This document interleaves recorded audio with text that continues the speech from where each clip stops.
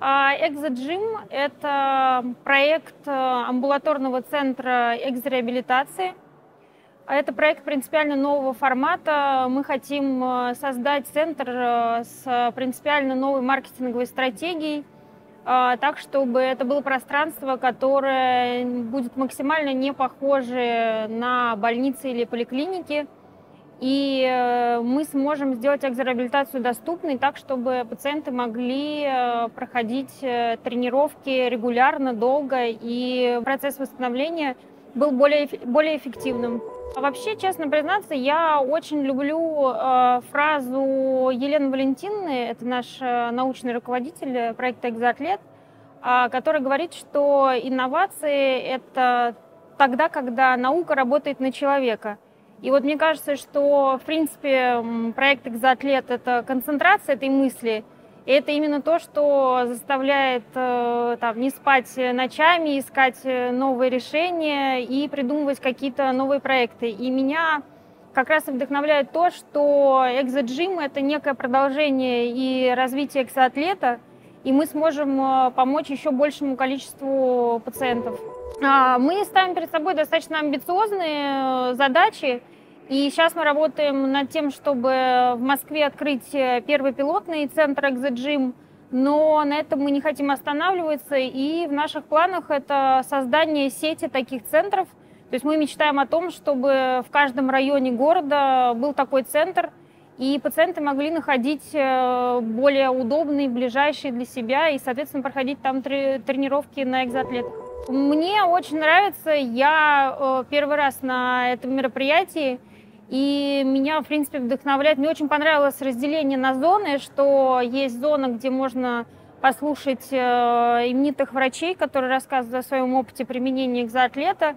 Их э, данные, их результаты вдохновляют. И совершенно потрясающая зона там, где проходят демонстрации работы пилотов в экзоатлетах. Э, я прям с трепетом наблюдала то, как э, пилоты проходили лестницу, поднимались и спускались, и вообще за них переживала. Это прям впечатляюще.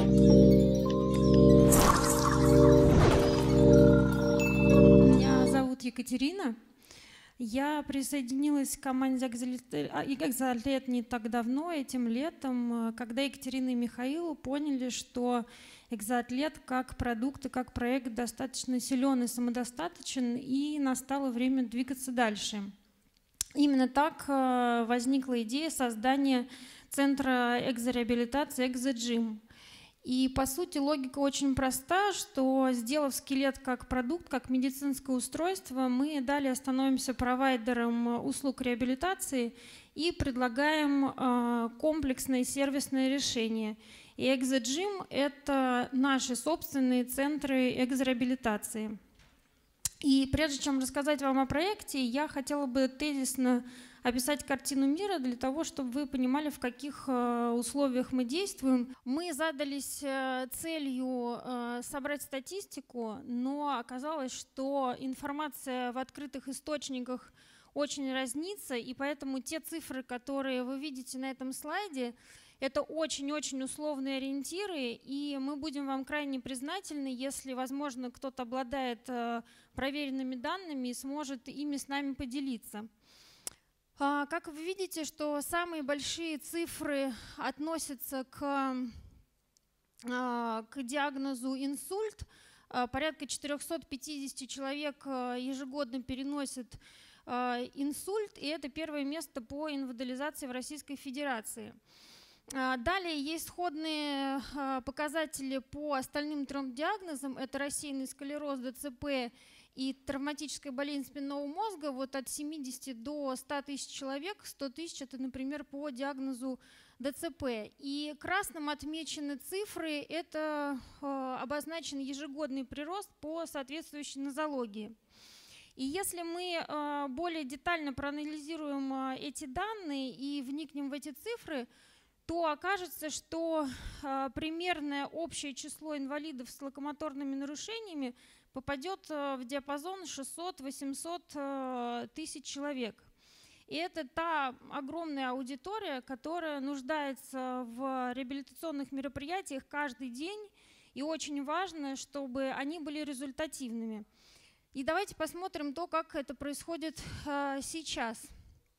Э, есть принятая система разделения на этапы, которая описывает процесс э, с точки зрения медицинской системы.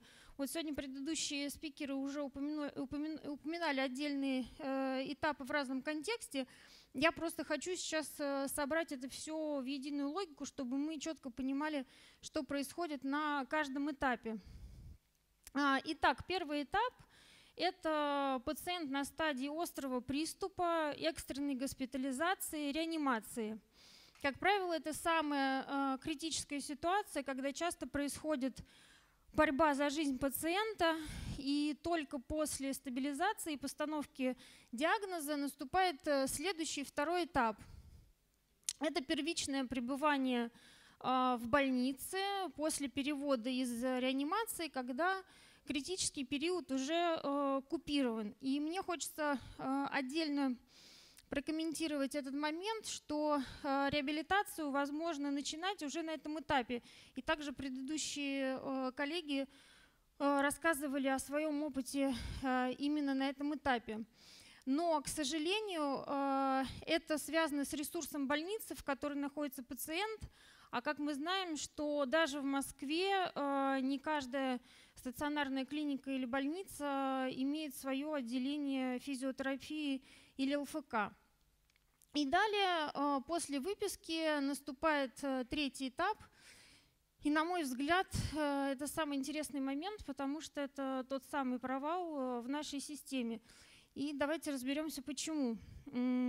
Безусловно, поликлиники имеют свои отделения ЛФК или физиотерапии – но так как это направление часто для поликлиник э, убыточно, э, в целом нивелируется результативность вспомогательных реабилитационных э, методик. Также поликлиники переживают глобальный процесс объединения, и часто один кабинет ЛФК или физиотерапии обслуживает сразу несколько районов, то есть сразу несколько поликлиник. И поэтому для пациента все это вместе означает просто труднодоступность э, услуг реабилитации. И в итоге э, мы видим какую картину мира, что человек выписывается из больницы домой и оказывается один на один с целым букетом проблем.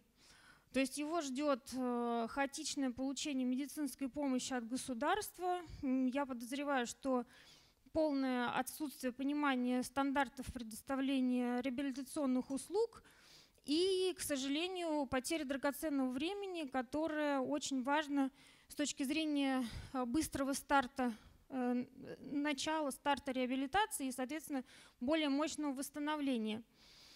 А, и именно поэтому, когда мы продумывали концепцию проекта ExoGym, а, мы прекрасно понимали, что мы предлагаем не только новый формат экзореабилитации, но еще и а хорошее решение для проблем второго и третьего этапов э, реабилитации. И теперь давайте э, обсудим проект более детально. Итак, что же такое экзоджим?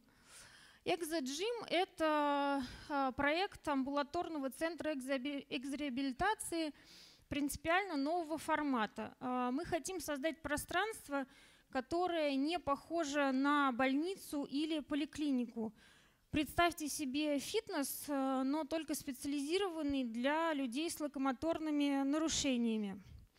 Наши центры э, будут работать в режиме возле дома, так, чтобы пациенты могли регулярно 2-3 раза в неделю проходить э, тренировки в экзоскелетах. И в этом смысле мы опираемся и вдохновляемся на успешные истории восстановления наших пилотов – которые говорят о том, что для того, чтобы добиться мощного результата, тренировок должно быть много и реабилитация должна быть непрерывной. С этой точки зрения э, наша цель – открытие не только пилотного единичного центра «Экзоджим», но еще и создание сети таких э, центров, э, чтобы «Экзоджим» был в каждом районе города и экзореабилитация была доступной. А, очень важный момент, что в наших центрах э, курсы экзореабилитации будут доступны и взрослым, и детям. Э, уже тоже об этом сегодня говорили, что текущая версия экзоатлета позволяет работать с пациентами от 150 сантиметров ростом. Это подростки, наверное, в возрасте 12-13 лет. А новая версия экзоатлет Бомбини позволит э, работать совсем с юными пациентами в возрасте там, от 2-4 лет. А, я хочу отдельно подчеркнуть то, что, наверное, для нас самое важное – это концепция. Я повторю, что мы хотим создать пространство, которое не похоже на больницу, и в целом мы хотим, чтобы экзоджим ассоциировался не просто с выздоровлением, а со здоровьем, с верой в себя, с надеждой на быстрое восстановление, с общением и с комфортной коммуникацией на любом уровне. И теперь давайте посмотрим, как э, замечательно это может выглядеть. Э, такие центры могут находиться в отдельном здании. Это может быть э, жилой дом, если там есть пространство с панорамными окнами. А, это даже может быть павильон в городском парке или пространство в торговом центре. На первый взгляд может показаться, что наша широкая аудитория совершенно не готова к такой коллаборации – но мы не боимся быть первопроходцами и верим в то, что чем больше людей узнает о такой возможности, тем, в принципе, мы большего результата сможем добиться. И мы здесь в этот момент с вами подошли к очень важному моменту, к пониманию того, что же такое реабилитация в принципе. И, на мой взгляд, очень важно уйти от определения реабилитации – только как части медицины или лечения, и стоит осознать и принять, что это еще и часть э, социальной жизни, причем не только инвалидов, но и каждого из нас, то есть нас с вами. Потому что э, в действительности глобальной целью процесса реабилитации любого пациента должна стать э, его социальная интеграция, его возвращение к активной жизни. Очень важно, чтобы это была максимально качественная жизнь, когда человек не чувствует себя аутсайдером. И для того, чтобы емко а, передать эту мысль, мы придумали слоган. И когда меня спрашивают э, о том, что, в чем же заключается миссия и цель нашего проекта, я всегда без сомнения отвечаю, что экзоджим – это реабилитация для жизни. И теперь давайте э, немного перейдем к деталям, мы посмотрим, э, что же нужно для работы такого центра. В зависимости от площади а, экзоджим может э, по-разному оснащаться оборудованием. И мы, например, делали расчет э, работы персонала и оснащения на примере 300 квадратных метров, и у нас получились вот такие цифры, что такая площадь позволит организовать работу на пяти экзоатлетах, а это значит, что каждый день э, порядка 20-30 пациентов смогут э, проходить тренировки в таком центре. Если говорить о полном курсе экзореабилитации, то мы полагаем, что для разных нозологий э, они должны состоять из 40-60 тренировок в год для каждого пациента. А, главным инструментом а, медицинского сопровождения, а также планирования и фиксации а, тренировок в центрах ExoGym станет наше облачное решение ExoCloud. Работа с этой системой начинается на самом-самом первоначальном этапе, когда лечащий врач составляет план реабилитации, план тренировок для пациента на, может быть, месяц, на полгода или год – и далее а, пациент может реализовывать этот план а, в любом центре экзоджим. И очень важно, что вне зависимости от того, где он и на каком экзоатлете он тренируется, все данные с каждой тренировки и с любого экзоскелета будут попадать и храниться в облаке экзоклауд.